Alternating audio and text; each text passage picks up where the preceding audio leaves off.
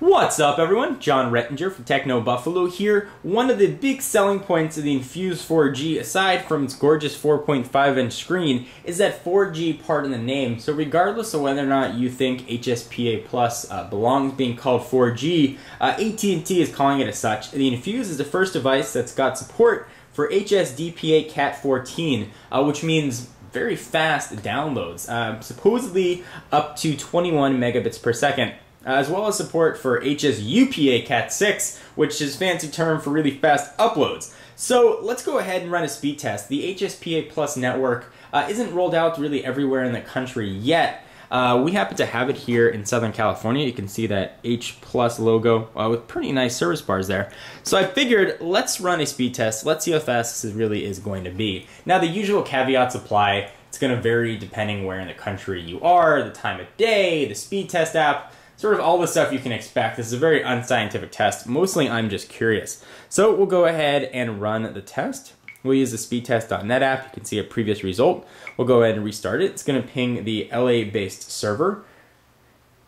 And in an upcoming video, I will run a test uh, comparing AT&T's 4G offering to Verizon's LTE, T-Mobile's HSPA Plus, uh, and Sprint's WiMAX. So I've run this test a few times and I've gotten speeds about as low as 1.5 down uh, and as high as about 6 on the download. Uh, uploads have been pretty consistent at about 1.5, which is pretty nice uh, upload speeds.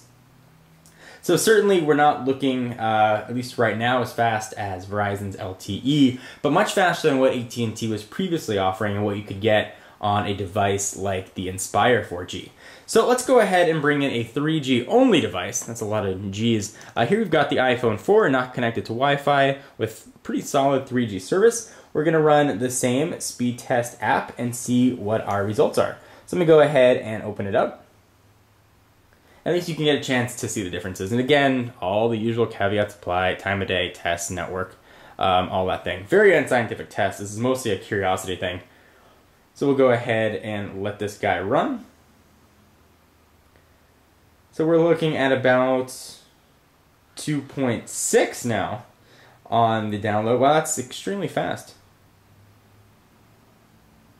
This is actually the fastest that I've seen uh, AT&T's 3G network go. It was actually quicker uh, than the HSPA Plus. Uh, the upload looks like it's going to be a little bit slower, but very fast speeds here uh, from the iPhone 4. again, this is no Wi-Fi. This is just straight up network speeds. So pretty nice results actually. So in case you guys were wondering what sort of speeds you can expect, uh, as the infrastructure continues to get rolled out. Uh, presumably, the Infuse is going to get a little bit faster than what the iPhone 4 uh, or any other 3G uh, phones can offer. So I hope you guys enjoyed this real quick network speed test. I want to know what you guys get. Run a speed test app and let's see what you guys are pulling in, where you are, and leave in the comments uh, what phone you guys are running. Let's sort of compare. Uh, I'm Jon Rettinger from Techno Buffalo. I'll see you in the next video.